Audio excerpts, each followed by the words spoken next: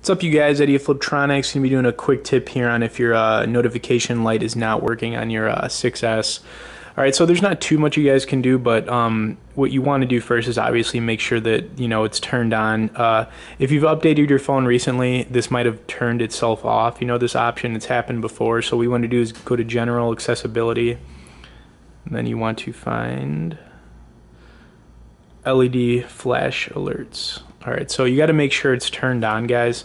Uh, if it's turned on, try restarting your phone, and if, if you find it's still not working, um, you know, and maybe it was due to an update, or you know, if you need to update your iPhone too, uh, try doing that because that could fix any uh, bugs or glitches in the software.